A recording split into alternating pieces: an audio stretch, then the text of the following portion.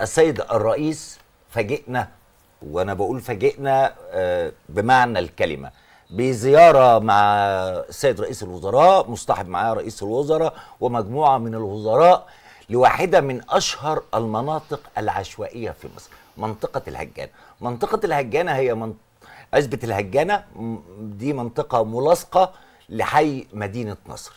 تقريبا مساحتها حوالي 400 فدان بيسكنها حوالي 3 ملايين مواطن مصري. هذه المنطقة من أشد المناطق العشوائية في مصر. العشوائية فيها يا كريمة المنطقة دي ما كانش حد بيروحها.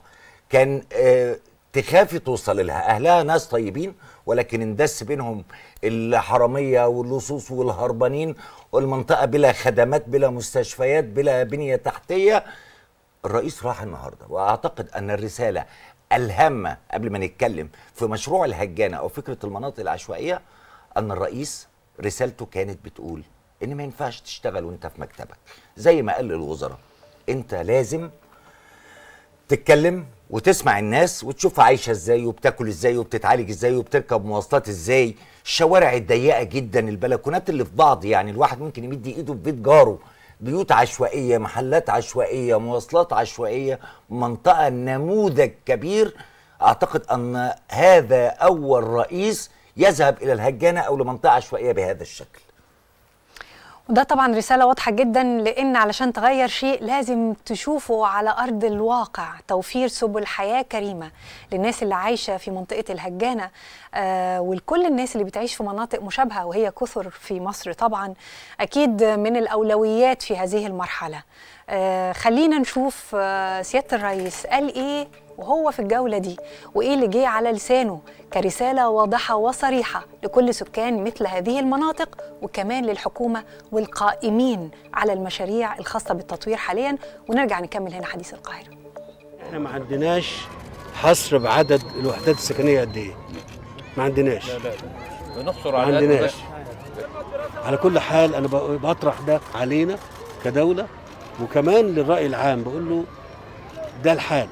لو ما انتبهناش لو ما انتبهناش لنفسنا ونظمنا نفسينا والحكومة سبقت الناس في الطلب يعني تلبي طلبهم في الإسكان صدقوني الدولة كلها هتبقى كده. إحنا بنتكلم في 50% من مساحة. الدولة كده. بالظبط. يعني حد صور الخصوص؟ يا دكتور مصطفى؟ بالظبط يا فندم. مش كده؟ نفس كده العملية حد صور الخصوص؟ نفس المنظر ده تقريبا فندم ده نفس طيب. نفس الشكل الناس عايشة إزاي؟ يعني الناس هتبقى عايشة. طب الناس اللي هتطلع من هنا كأطفال صغيرين هيطلعوا عاملين إزاي؟ هي. هيروحوا مدارس فين ويتعلموا سلوكهم ويلعبوا لا ده تكلفة ال- التعليم هنا عندهم أكتر من أي حتة تانية لأن هو ما عندوش هيمشي بابنه ده أو بنته. مسافة كبيرة جدا لأقرب ما فيش مدارس جوه كتير. تحل المسألة ما حدش عمل. مش ما حدش عمل عشان يعني الموضوع مش مترتب. ولو الدولة ما انتبهتش ودي الرسالة اللي أنا أنا جيت هنا وجبت جينا كلنا هنا عشان نوصل للناس الحكاية. الكلام في التلفزيون مش كفاية.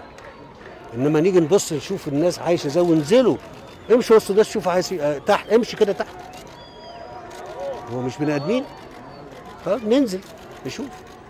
نشوف الناس دي عايشة إزاي وبتاكل إيه وبتشرب إيه وبتتعالج إزاي شايفين منظر البيوت يا جماعة عامل إزاي؟ أنا بصراحة يعني لو قعدت أتخيل كده لو أنا مسؤول أنا مش هقرب من المنطقة دي. هترعب. أنتوا شايفين لو حصل حريق في عجلة تعرف تدخل في الشارع ده مش عربية إطفاء. المنظر ده ممكن يتغير إزاي؟ بصراحة يعني الرئيس وهو حاطط ايده حاطط ايده في حتة صعبة جدا.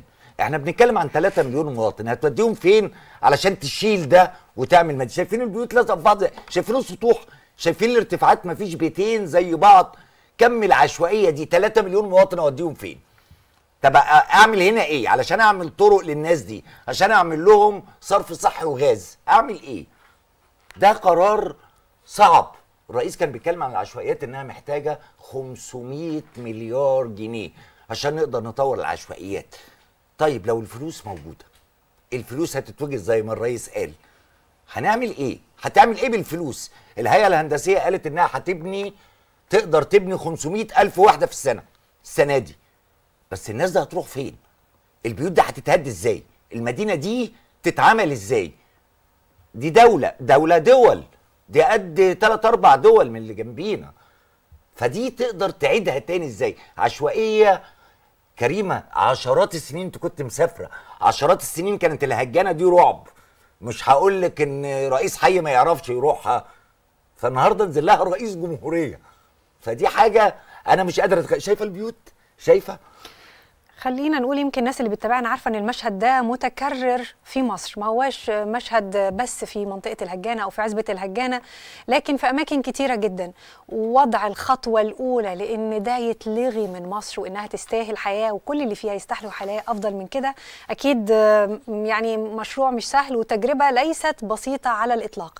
مناطق عشوائية غير آمنة غير مخططة أكيد محتاجين نخرجها من حياتنا كمصريين قد تكون هذه الزيارة هي الخطوة الأولى في الاتجاه ده وإحنا طبعا سعداء جدا بيها وإن شاء الله إن شاء الله نسعد كلنا وإحنا بنصور هذه المناطق بعد إعادة التخطيط وبعد التعديلات اللي هتوصل لها كلمة حياة آمنة بس عايز أقول لك إن دي مش الخطوة الأولى الخطوة الأولى في الهجانة لكن إحنا شفنا الأسمرات ودي كانت منطقة رهيبة لا يمكن يتسكن فيها والناس ما كانوش عايزين يسيبوها. وتل العقارب كانت الحجارة بتقع على الناس يموتوا وهم ساكنين تحتيها. فتم عندنا تجارب جيدة جدا تمت بالفعل خلال السنوات القليلة اللي مضت. فده بيخلي الواحد يقول إن الهجانة مش حلم مستحيل. طب الهجانة بس؟ أنت أخدت بالك؟